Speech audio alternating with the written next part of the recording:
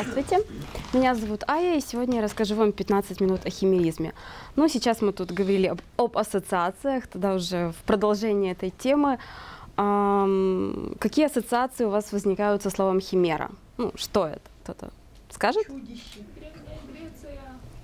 Да, правильно. Для того, чтобы это понятие появилось в Древней Греции, и это было существо, монстр, так скажем, которое порождение Ехидны и Тифона, и у него было тело козла, голова льва и хвост змеи. То есть оно было такое многосоставное существо, вот, и поэтому в биологии уже в современном мире химерами называют существа, которые состоят из э, клеток разных геномов. То есть там может быть два и больше разных геномов.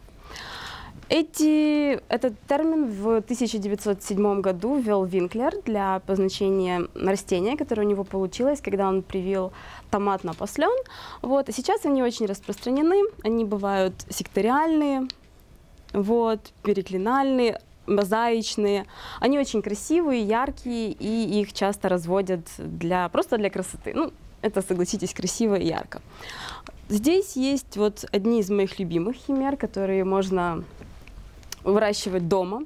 В частности, помидофиль. В, э, да, причем название есть на английском, это tomato, на русском помидофиль, а на украинском помопля. Я думаю, на других языках тоже есть какие-то интересные названия. То есть, если вам скучно и не хочется выращивать, э, скажем так, э, фиалки, которые тоже могут быть химерными, вот, и удивить своих знакомых и друзей чем-нибудь необычным, вы можете вырастить вот дома такое вот растение. С него вы получите килограмма три томатов черри, ну и потом уже получите э, именно сам картофель. Еще одна химера – это бицария. Вот. Это одна из старых химер, она еще с 1640 года, э, вот, известна. Это переклинальная химера э, флорентийского цитрона и горького апельсина. Вроде как она получилась случайно. Тут ткани лежат слоями, то есть, видите, она как бы собрана так вроде как кусочками. И листья тоже такие же, и, расти, и сами плоды такие же. Она была одно время утеряна, вот, потом найдена вновь. И сейчас цитрусоводы со всего мира считают как бы за счастье за, получить ее в свою коллекцию. Вот. Химеризм бывает не только у растений, он бывает еще и у животных. У животных химерами э, являются существа, у которых в геноме э, есть клетки как бы из двух разных зигот. То есть два и больше. Может быть а, от двух, скажем так. Вот. Это называется тетрагометический химеризм, который является самым, ну, довольно-таки редким. Зафиксировано около 40 случаев у людей данного вида химеризма. Одним из самых известных это Лидия Ферчайлд. В, по ее, истории ее жизни, скажем так, сняли фильм «Мой близнец во мне». Началась история с того, что она разводилась со своим мужем, у нее было двое детей, она была беременна третьим, она решила подать штату прошение о назначении социальной помощи. Соответственно, ей было назначено, надо было пройти тест на отцовство, и так странно получилось, что ее муж, с которым она разводилась, был отцом ее детей двоих, а она матерью не была. Вот. Э, штат уже хотел подавать иск о мошенничестве, ну, как бы, мало ли. Вот, но когда она родила третьего ребенка, прямо в родильной палате, прямо там брали анализ, и все равно это оказался не ее ребенок. Но у нее был очень умный адвокат, который читал научные журналы, и он увидел в этом журнале статью о человеческом химеризме. Вот, и, соответственно, они взяли анализы ДНК из разных тканей. И вот и оказалось, что у нее был, была сестра-близнец, которую она поглотила на очень-очень ранней стадии развития, вот, которая в итоге являлась матерью ее рожденных детей, ну, уже четырех, как бы так получилось, что они с мужем не развелись, эта история пошла им на пользу, и вот у них уже четыре ребенка. Я искала химер среди каких-то знаменитых личностей, и самой знаменитой певицей это Тайлер Мюль, которая тоже оказалась химерой. Ей говорили, вот если вот видите, здесь вот родим, ну как бы ей говорили, что это родимое пятно. Вот, она его все время как-то ретушировала с помощью фотошопа, еще чего-то, но после истории вот с Лидией Ферчайлд она решила этого не делать, ну, как бы приняла себя такой, какая она есть, сдала анализ, и оказалось, что она таки химера. Вот. Эм, в связи с этим возникает вопрос, можно ли доверять анализу ДНК как, как бы истине в последней инстанции, поскольку вот э, в данном случае ДНК-тест в принципе показал правильную информацию, но выносить какие-то решения, основываясь только на нем, нельзя. Точно так же и в уголовном судопроизводстве считается, что, возможно, как бы не было сделано никаких анализов, уже это постфактум, то есть что у Чикатила тоже мог быть химерой, поскольку у него не совпадало анализ как бы по группе крови и по группе сперм. Вот, поэтому, может быть, как-то в будущем этот вопрос тоже будут решать. Итак, кто не является химерами? То есть не надо, если вы вышли на улицу и видите людей, которые там, у кого гетерохромия глаз или еще что-нибудь, или какая-то прядь волос, что он тоже является химерой. Нет, есть такие, ну, такие люди или животные, неважно, как мозаики. То есть они развиваются из одной зиготы, и на какой-то очень ранней стадии развития там может происходить эм, какая-то мутация. И, соответственно, все остальные клетки уже будут нести эту мутацию. Это может э, выражаться точно так же в пигментации кожи, странном шахматном рисунке, допустим, или еще в чем-нибудь. Но эти люди не являются химерами, или животные, они тоже не являются химерами, поскольку они происходят из одной зиготы, это одна ДНК. Дальше гибриды. Тут вы видите миниолу и видите лигра. Э, у этих существ половина ДНК, то есть они опять-таки один геном, один геном, половина хромосом от одного родителя, ну, в частности, там мать э, тигр и отец лев, то есть половина хромосом. И точно так же миниола, она полностью, она одна по своей структуре, то есть там нету такой переклинальности, как вы видели у бицарии, где ткани лежали слоями друг на друге. И сейчас самое интересное будет, это генендроморфы. Что же это такое? Это существа, половина которых мужская, половина женская. Э, опять-таки, это вид мозаиков, у которых э, неправильно просто э, разнеслись хромосомы. То есть в идеале в мужском организме там XY. Перед делением эти хромосомы удваиваются. XX, YY. И в обычных вариантах они как бы так и делятся x, y, x, y. Но могут делиться, допустим, x и x, y, y. И, соответственно, все остальные клетки будут точно нести точно такой же набор. И вот получаются это у ракообразных, у насекомых, у некоторых пауков и даже у птиц. Ну, они несут разную окраску, то есть их очень легко определить внешне, визуально, потому что самцы и самки, они по-разному окрашены, и поэтому как бы это ярко видно. У млекопитающих вряд ли возможен такой прямо яркий эффект, поскольку у нас, во-первых, организм развивается еще и под воздействием половых гормонов. То есть как бы у нас не будет такой яркой ну, раз, линии раз, развлечения. И мы переходим ко второму виду химеризма. Это микрохимеризм. То есть если тот был зафиксирован приблизительно 40 э, человек во всем мире, то этот намного более распространенный. Микрохимеризм э, есть фетальный, допустим, материнский. Когда мать с плодом обмениваются клетками, когда плод еще находится в утробе.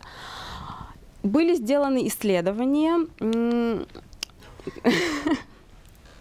когда э, брали женщин, у которых когда-либо рожались мальчики, вот, и пытались найти э, мужскую ДНК. Но это намного проще найти клетки с мужским кариотипом в женщине, чем искать, чем женские. Вот. И, соответственно, у двух третей из этих э, женщин, которые были исследованы, были найдены клетки с мужским кариотипом везде, причем даже они были найдены в мозге. То есть мы в мозгу нашей матери не только как бы фигурально, но и, в принципе, на самом деле можем существовать довольно дол долгий промежуток времени, потому что женщины, которые э, исследовались, вот, там от 32 до 101 года, и у 94-летней женщины были найдены э, мужские клетки. То есть как бы это довольно-таки длительный процесс может быть. Дальше. Мы с вами можем быть не только жить у нашей матери, но и у наших младших братьев или сестер. Ну или как бы они могут жить в нас. Потому что через материнский организм клетки могут мигрировать в, во второго ребенка. То есть если у вас есть, вы можете знать, что такое возможно. Трансплантационный химеризм это то, чему люди подвержены довольно-таки часто. То есть если человеку переливают кровь во время операции, пересаживают какой-либо орган, на какое-то время он становится химерой. Возможно, даже навсегда. То есть в Австралии известна девочка, которой делали пересадку печени, и у нее на всю жизнь изменилась группа крови. А, если пересаживают костный мозг, тогда врачи делают все возможное, чтобы пациент стал химерой. То есть как бы собственный костный мозг убивается, пересаживаются кроветворные клетки другого организма, и если операция прошла успешно, этот человек на всю жизнь останется химерой, то есть как бы у него на всю жизнь будут вырабатываться уже клетки с другим геномом. Вот. Лабораторные химеры. Ну, вот эти э, ученые-чудаки, которые постоянно что-то придумывают, да, они ставят эксперименты, и в 1984 году была создана химера а, козы и овцы. Это причем, что у них разные хромосомы, ну, то есть разное количество хромосом. У одной 50, у 60, у другой 54. Вот. И существо было тоже мозаичное. То есть часть шерсти была э, гладкая, как у козленка, часть была э, такая волнистая. Вот. Ну и, соответственно, мыши, которые постоянно на них какие-то исследования проводят. Вот. В частности, э, вот если мы вернемся назад, тут показана картинка, когда пересаживали костный мозг мыши. Э, выращивали костный мозг, э, выращивали поджелудочную, у, ну, которая как бы вводили клетки э, мыши в крысу, в ней выращивали поджелудочную железу, именно мышиную. Потом изымали и уже э, им трансплантировали ее мышам, у которых был диабет. И, в принципе, она хорошо работала, ну, как бы по исследованиям на мышах и крысах. Самый конфронтационный вопрос – это химера человека и животного. Насколько это возможно, насколько это нужно, как бы и зачем вообще ученые это делают. В январе 2017 года ученые из университета Солка создали химеру человека и свиньи.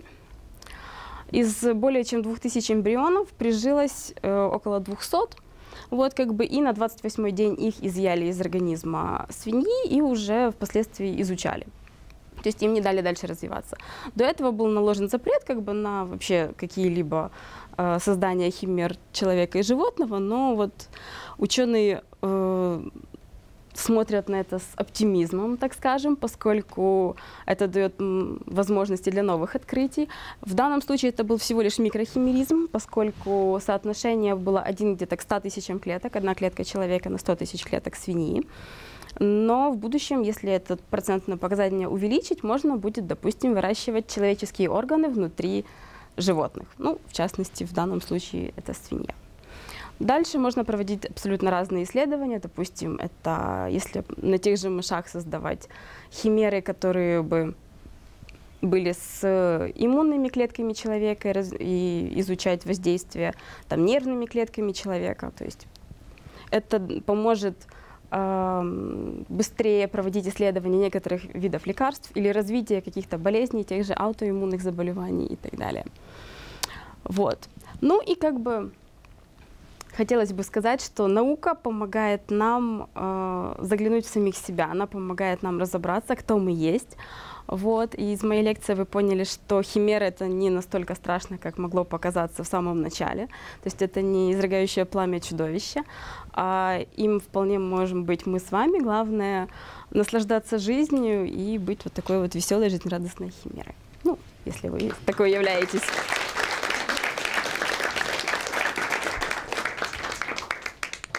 Вопросы? Спасибо большое, очень любопытная тема, никогда не встречал этого термина. Вот, был рад об этом услышать. А, перейду к вопросу. Мне не совсем а, понятен механизм, как вообще это возможно. Я правильно понял, это два набора геномов одновременно присутствующих? Э, вот, то есть э, понятен, понятен вопрос, да, каким образом это вообще может развиваться и жизнь вообще из этого? Каким образом не отторгаются клетки иммунной системы, да, допустим? Ну, в большинстве случаев я имею в виду, что такие существа как бы должны не выживать, как, как они вообще... Э, а, ученые предполагают, ну, как бы этот факт до конца, до конца прям не изучен, но ученые предполагают, что в связи с тем, что эти клетки, ну, если берем тетрагометический химеризм, то эти клетки сливаются на очень ранних стадиях развития, когда там эмбрионы там, по 8, ну максимум 64 клетки. То есть, и, соответственно, уже распознание свой-чужой нет, не настолько сильно развито. И уже в процессе он развивается как единый организм. Но надо понимать, что это он имеет мозаичную структуру полностью. То есть и органы могут быть мозаичные, не только там кожа, допустим, или волосы, а все имеет. То есть есть одни клетки с одним геномом и другие клетки с другим геномом. Вот. Э, в частности, про трансплантационный химеризм обычно подбирают донора, который был бы наиболее подходящим к, э, к этому человеку, ну и как бы к реципиенту. Вот и все. Еще, еще кто-то? Кто-то? Да. Э, Можно ли считать современные породы собак, допустим, химерами? Современные породы собак вряд ли можно считать химерами, это скорее могут быть гибриды. То есть, как бы, так как на том рисунке, это, скорее всего, ну, как бы, это гибриды. То есть, когда скрещивали разные породы для получения какой-то одной. То есть, как бы, там есть половина хромосомного набора от одной собаки, половина хромосомного набора от другой. То есть, как бы, это, внешне химеризм может и не проявляться. То есть, он не обязательно имеет какие-то признаки. То есть, если бы даже из этих эмбрионов, которые на последнем слайде были, развились существа, они бы не были чем-то средним между человеком и свиньей. То есть, как бы они были бы, скорее всего, обычной свиньей. Просто э, ученые, если брать очень дотошно анализ ДНК со всех частей, вот, можно было бы найти в них человеческие клетки. То якщо, наприклад, прищепити до сливки там аличу, це буде хімерізм. А якщо до людини ну частину іншої руки, якщо людина без руки, і їй рішили перешити іншу руку від И іншої. если она приживется и все будет хорошо, тогда это да, это тоже химеризм. Точно так же, если пересаживают там сердце, ну неважно, как бы любые органы, это все равно химеризм. Просто количество. Дякую за відповідь. А ось, наприклад, Якщо людина, наприклад, цілком нормальна, а смітить як свиня, це химеризм та чи гібрид? Я думаю, это уже социокультурное понятие, скорее, а не биологическое. Ну, то есть, как бы, А як це тоді відображається от на репродуктивних функціях? Тобто, е, чи завжди, як в історії от першої жінки, тобто е, дитина і взагалі е, майбутнє покоління будуть породжуватись тільки від одного геному? да, только от одного генома. Ну, как бы, а, неко- явище ненаслідне. Э, есть такое понятие, как расхимеривание. Но это у, э, больше в ботанике, но зависит от того, то есть как бы у Лидии Ферчайлд, у нее просто ее сестра-близнец, вот эти клетки, которые а, были, они больше были в репродуктивной системе. Вот, соответственно, и все дети были как бы от ее нерожденной сестры-близнеца. Вот. Есть такое понятие еще как микро, ну, как химеризм близнецов. В живот... У животных оно известно, это у большого рогатого скота в частности, уже давным-давно, это называется фримартинизм. Это когда близнецы в утробе обмениваются клетками. И если это разнополые близнецы, то э, помимо э, просто обмена клетками еще происходит об- обмен гормонами. И тогда самки, которые рождаются, у них развиваются и яичники, и семенники. И они становятся ну, как бы стерильными. Хотя у мармозеток такого не наблюдается, ну, ну, как бы, но вот у большого рогатого скота есть. И вообще, в принципе, у близнецов э, человека, ну, неважно, как бы, кого тоже могут быть такие именно связи через еще внутриутробные при обмене клетками. Ну, кроме однояйцевых близнецов, скажем так, у них как бы он, может, он и происходит, он, в принципе, происходит, но его нельзя определить, потому что геном у них одинаковый, они изначально поделились, ну, как бы, поэтому это нельзя отследить.